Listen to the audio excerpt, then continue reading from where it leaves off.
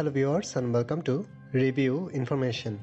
In this video I will show you how to enable developer options in Xiaomi Redmi Note 7s smartphone. Subscribe to my channel and hit the bell icon to get notified any updates. First, go to Settings.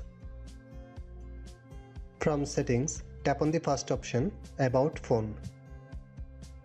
In the About Phone, find the option MIUI version. Now tap on continuously in MIUI version until you get the notification you are now a developer. That's it.